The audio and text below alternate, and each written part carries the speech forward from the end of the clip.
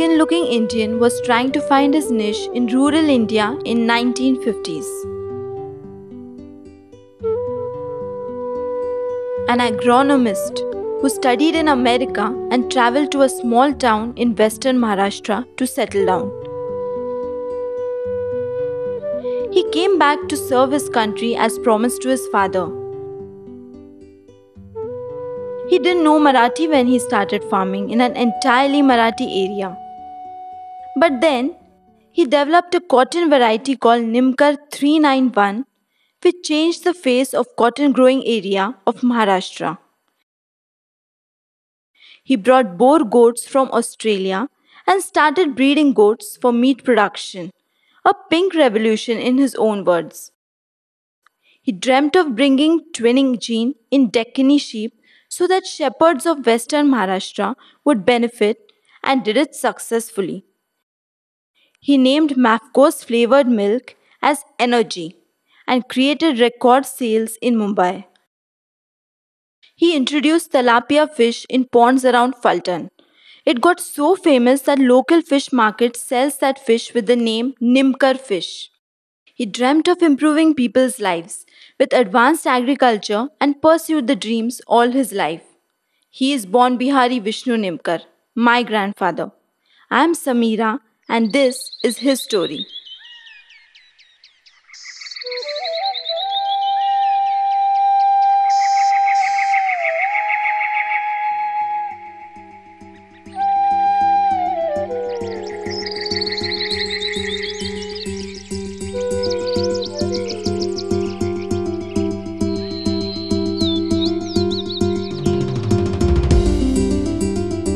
me, what can we do for the country? So I tell them, don't pay tax. अत्यंत ते नियमित आहेत And the government is basically an employment guarantee scheme. कुठल्याही गोष्टीत माहिती हवी असली की दादा In a democracy, people should do things themselves.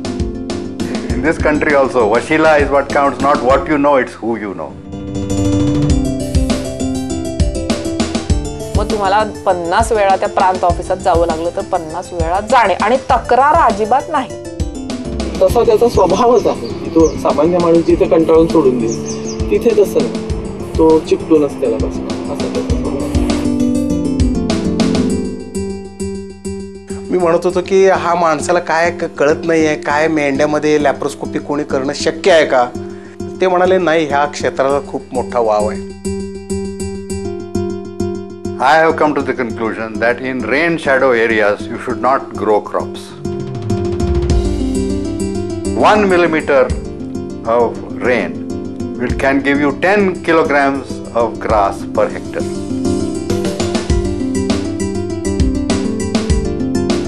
समाजासाठी आपण काहीतरी केलं पाहिजे आणि त्याचा उपयोग लोकांना झाला पाहिजे आणि लोकांना कायम आपण आपल्या विश्वासात घेऊन त्यांच्या बरोबरीने काम करत राहिलं पाहिजे हा त्यांचा स्वभाव. I don't believe in God, I believe in luck.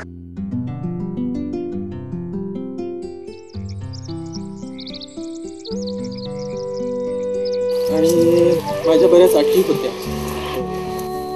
त्याच्यामध्ये तो बसत होता. म्हणजे देवावर धर्मावर विश्वास नसलेला माणूस पाहिजे. सरकारी नोकरी डॉक्टर इंजिनियर असं ठराविक गोष्टी न करता काहीतरी वेगळं करणारा शहरात राहणारा नको. तो खेड्यात म्हणजे त्या खेडं नाही पण त्यावेळेला फलटण बरंच लहान गाव होतं. त्याच्यात राहत होता शेती करत होता. ते मला आवडलं. मी हो म्हटलं.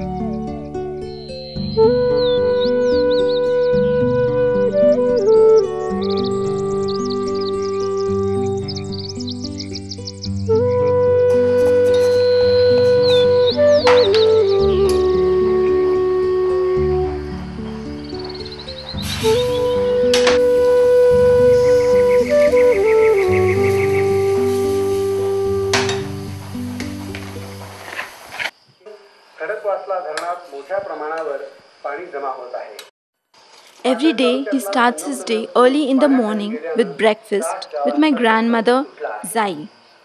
कोल्हापूर जिल्हा आणि परिसरात पावसाची Sometimes their daughter, my mother Manjari, joins them. पूर्णपणे भरलं आहे सध्या या धरणाचे चार दरवाजे उघडण्यात आले असून त्यातून सहा हजार दोनशे तीन घनफूट प्रति सेकंद या वेगानं पाणी सोडण्यात येत आहे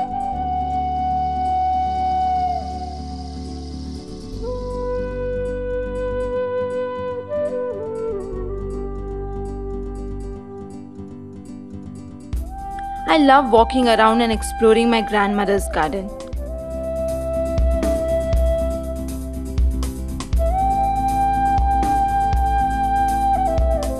At times, my grandmother also joins me. It's wonderful out there.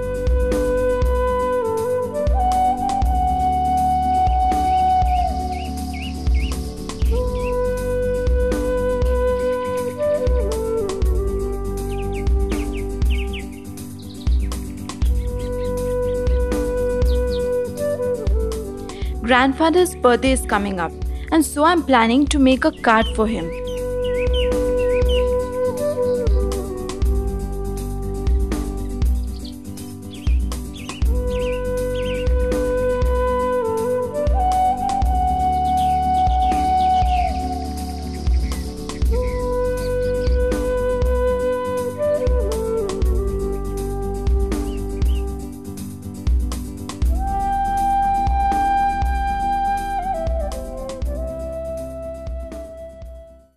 Looking at the vast canvas of his work, the question naturally comes to one's mind Who is this man?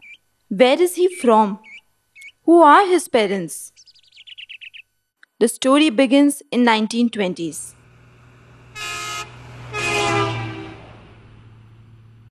His mother, Elizabeth Lundy, was American and his father Vishnupant Nimbkar was Indian.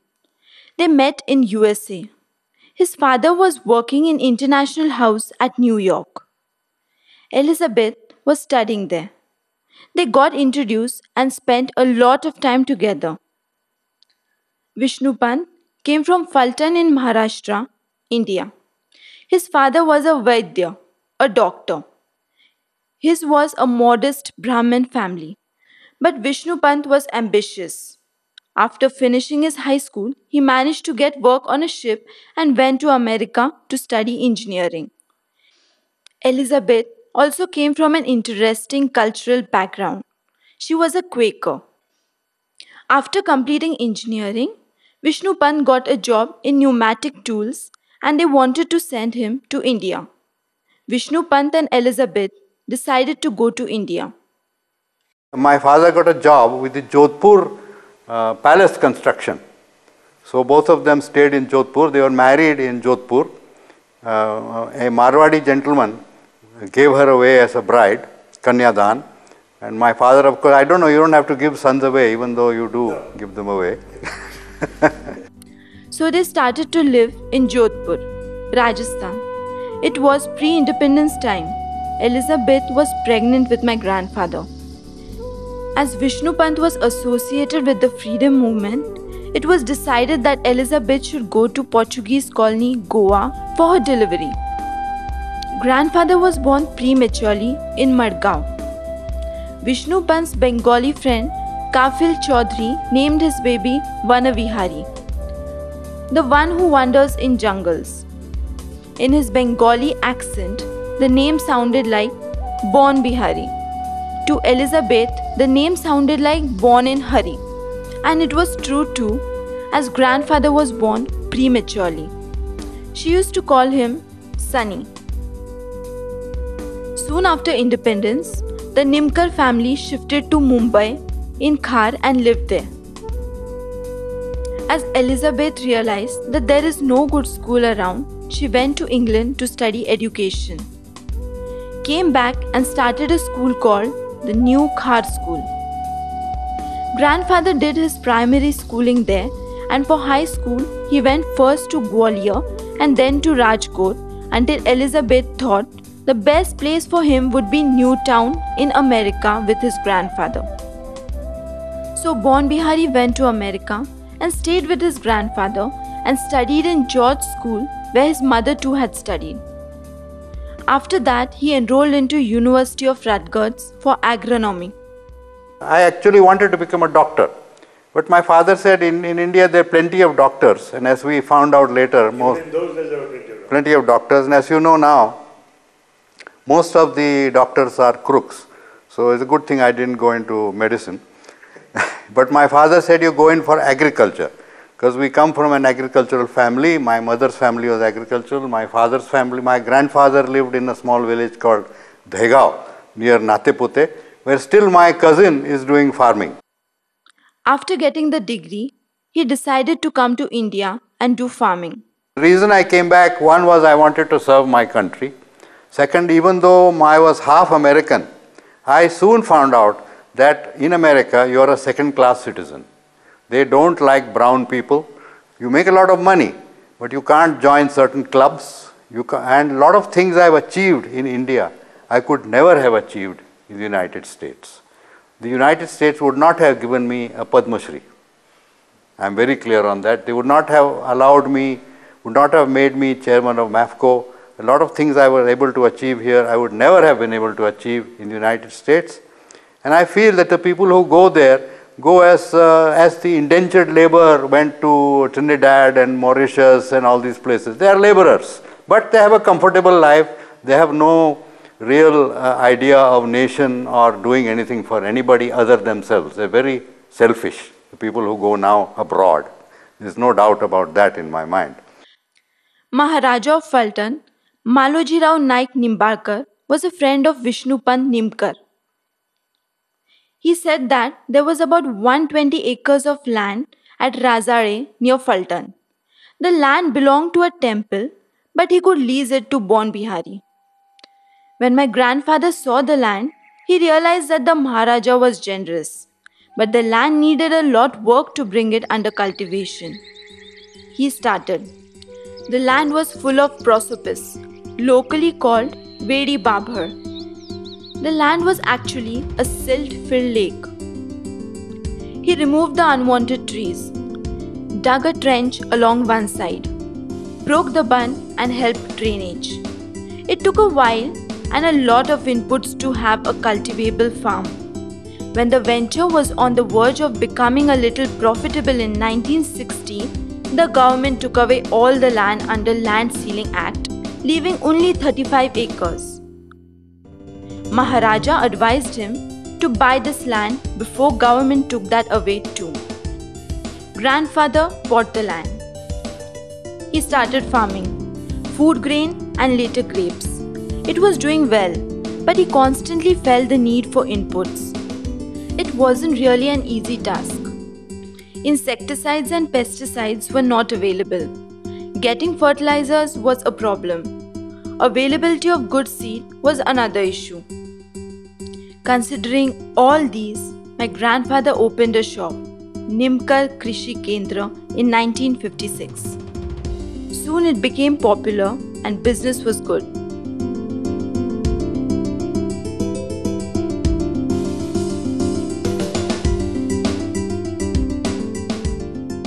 Phaltan and surrounding area was cotton growing area at that time. People used to grow cotton as a cash crop. The variety grown was CO2, a government variety. But there was a problem with CO2. But the trouble with CO2, it always got caught in the rains. We used to sow the CO2 in the month of March and harvest it in July, August. It got caught in the rains and there were a lot of problems. Not destroyed, there were a lot of problems in picking. It was wet cotton, there was no marketing. We had to store the seed. Then I inquired around that who knows something about cotton and I found a place close to Phaltan called Ranmada. And there was one old gentleman by the name of Shrikhande and he had brought in a cotton variety from Gadag called Lakshmi and uh, he was planting Lakshmi. So I got a permit from the government of Maharashtra because this was a notified area. You are not supposed to bring in Lakshmi. So I got a permit to bring in Lakshmi. They said you can't bring in Lakshmi for sowing, but you can bring in Lakshmi for feeding to your buffalo. So I brought in Lakshmi cotton and we started sowing it. The area increased and Lakshmi cotton did well. Success of Lakshmi cotton opened up a new area for grandfather. importing and distributing good variety seeds in this area. He started importing Lakshmi seed and selling. Soon people realized that Lakshmi is a better variety than CO2. More and more farmers started growing Lakshmi. Once, Mr. Thakur, the cotton development officer, came to Phaltan and saw this. He called my grandfather and said, Mr. Nimbkar, I am afraid, but I have to prosecute you because you are not supposed to grow Lakshmi here. Grandfather took him around the area and showed him the crops of Lakshmi and CO2. That convinced Mr. Thakur that Lakshmi was a better variety and should be grown in this area. And all of a sudden, the government said, you can't import Lakshmi. Only government can import Lakshmi and sell it. So that started my career in court cases. आपल्यावर काहीतरी अन्याय झाला आहे असं वाटलं तर त्याची त्याला भयंकर चीड येते आणि अं, मग त्यात खटला करण्यासारखा असला तर तो करणार So I filed a suit in the Bombay High Court. At that time, I had a close friend who helped me throughout my life filing suits at no, at not no fees he charged. He was a solicitor, Mr. Dharmasukh Nanavati. And even now he's there, and if I require anything in High Court, he's always there. And we hired a gentleman by the name of Soli Sorabji, who became uh, Solicitor General of India. Soli became a friend, and I forget the name of the judge. And the judge says, What do you mean only you can bring Lakshmi? Mr. Nimbkar brought Lakshmi, he developed Lakshmi, and now you tell him he can't import seed. Struck down. Mr. Nimbkar shall be given within two weeks a permit to import Lakshmi. The seed business grew fast and developed into a full fledged seed company called Nimbkar Seeds Private Limited. The Rockefeller Foundation supported with machinery and foundation seed to start new hybrid seeds.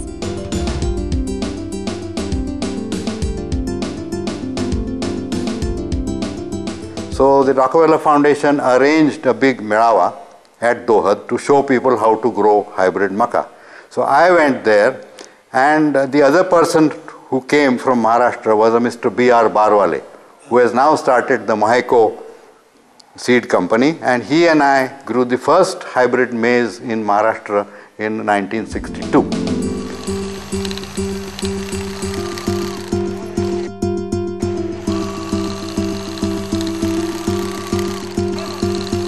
With this company, grandfather started hybrid seed development in food grains. He started concentrating on sorghum, the jawar. Government had a good variety, CSH1. He started producing and selling its seeds and soon it became popular in Satara district. Within 3 years, it covered over 90% of the Kharif area of the district.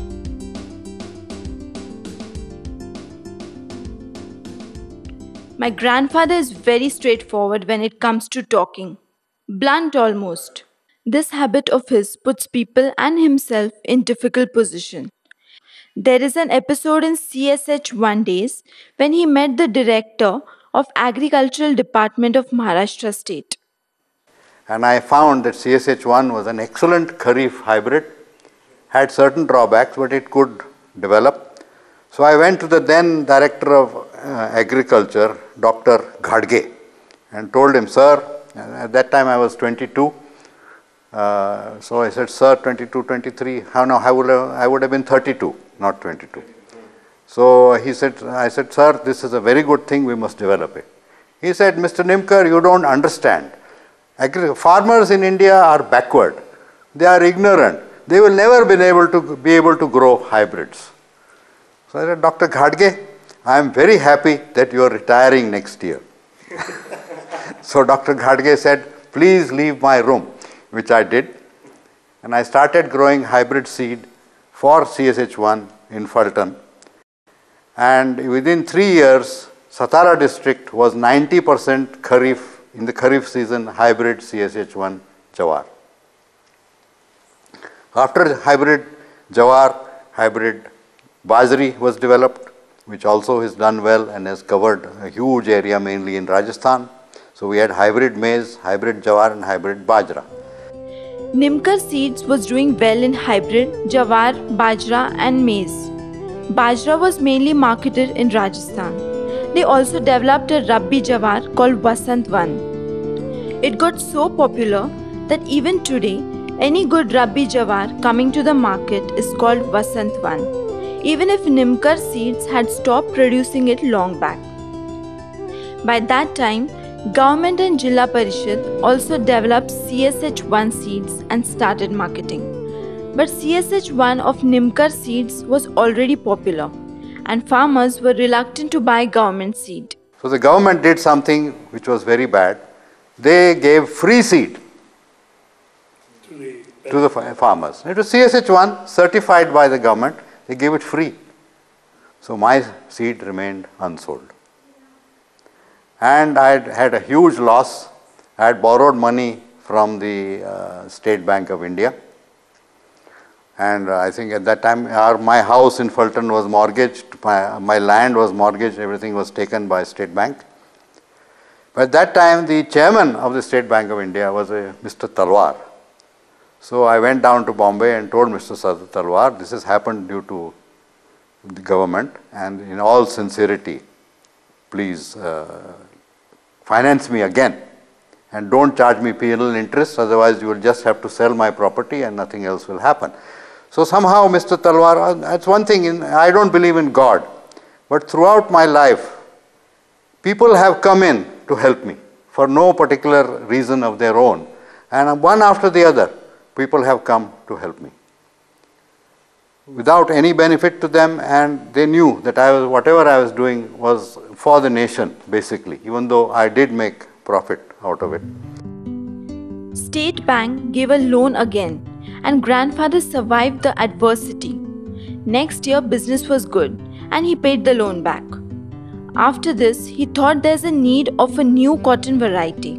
So he along with his fellow scientists developed Nimkar 1 and later Nimkar 391.